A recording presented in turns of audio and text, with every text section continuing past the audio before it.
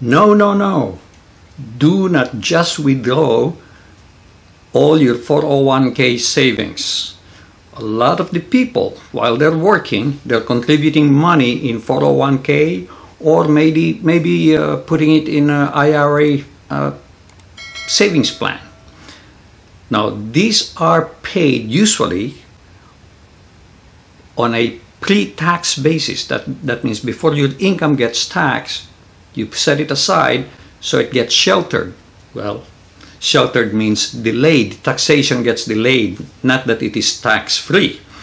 So, when you withdraw that money, whether it's 401k or IRA with exception of Roth, Roth is paid for on an after-tax basis.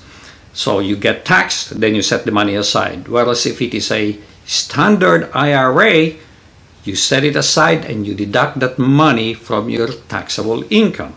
But when you withdraw it, that's when you get taxed. Now, what I usually do is spread it out over a period of time such that my pension, my, my social security, IRA, and all other income that I have will not exceed the threshold beyond which the money, the income, gets taxed. This way you can collect your money over a period of time tax free. Okay? So when I say delayed or deferred, it's just that you will have to pay tax on that eventually unless you plan it right so that you can collect the money and not exceed the threshold before it becomes taxable. Don't ask me what the threshold is. There are a lot of consideration to be done. Make sure you check with your tax advisor, whether he's an accountant or a financial planner, do that. Now, when you make a withdrawal, that withdrawal technically will be subject to tax. But if you combine that with your other income, such as Social Security, and you're below the threshold, it does not get taxed. As I said, if it's a Roth IRA, usually it's free because you paid it with the after-tax dollars while you were in your earning years, during your uh, earning years. Now, some people might say, oh, gee, you know, I keep on withdrawing, I'm not paying any tax. They may be talking about state tax because certain states do tax Social Security. Some states do not. For example, Pennsylvania, they don't tax Social Security.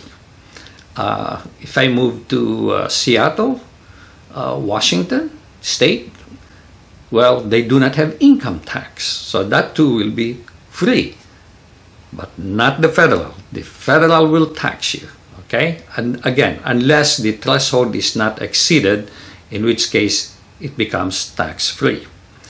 Not only that, here's a surprise for you. When we talk Medicare, Medicare Part A, that's for hospitalization, is usually free. You don't have to worry about a thing. But Part B, that is for physician services, you pay. And most people pay about $175 currently, okay, $175. But that is based on income. So, the $175 a month that you pay is if your income is, and if you're individual or single, $103,000 or less, now, this is the current table, okay? Or if you're filing a joint return, if you're married, it's 206,000. As long as you don't exceed those, you pay 175. Now, a lot of people have maybe 200, 300,000, maybe even $1 million or more to withdraw and they say, gee, you know, I can buy a house, I can do this, I can do that, I can go on vacation, oh, let's withdraw everything, put it in a savings account. You could very easily exceed that threshold. Now, if you're above 103,000 single, if you're above 103,000 and up to 129,000, and if you're married, 206,000 to 258,000 if that's your bracket. Total taxable bracket. $244.60. And it goes up to as high as if you have 500,000 and above single or 750,000 and above married, you could pay $594 a month. So not only do you pay tax, and by the way, this uh, this uh, this rate is delayed. So, for example, uh, when I say uh, most people pay $175 a year, that is based on 2022 income, two years ago. So uh, for this year, let's say, if you made a one-time lump sum distribution and it's 500,000 and above, and you're added to all your earnings, your income is 500,000 or more, you'll be paying $594 at least for this year 2024. Comes 2025, that's another story. It reverts back to zero. So if you're not, not zero, but to the $175 minimum if you're only making 103,000. So you will have this for at least 12 months.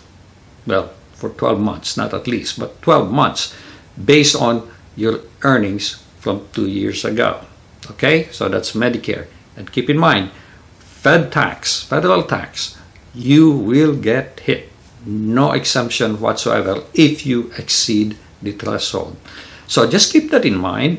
And before you make a decision to make a lump sum withdrawal, do check with your tax accountant or uh, financial planner and make sure they're familiar with Medicare, state where you are, and federal. Okay? So, well, obviously, if you're in the Philippines, you will just be responsible for the federal. You don't have to pay any state tax. So, I hope uh, you learned something from this. I'll appreciate it if you click like and do share this with other people who may be in the same boat they have so much money in savings, uh, do not just withdraw it. Make sure you make a planned withdrawal so you can withdraw it over time and not be subjected to tax. Just watch that threshold. Okay? So, thank you so much for watching. Make it a great day and God bless. And please do subscribe to my channel unless you have already done so and click that notification bell so you get notified of new postings. I don't post a lot, so you're not going to be bothered, but periodically there's something important that I post, just like this one, and uh, just keep that in mind before you decide to make a significant withdrawal. God bless.